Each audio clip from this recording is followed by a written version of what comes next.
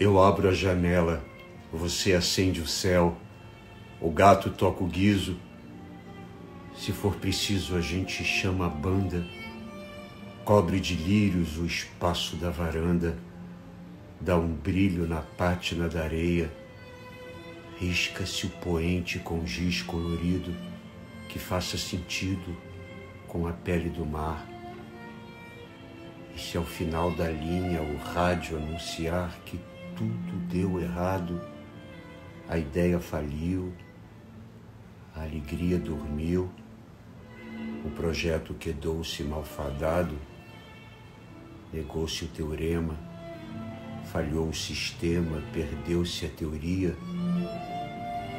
Então abriremos por fim a nossa caixa onde se conservam bem guardados o sonho, o viludo e a fantasia.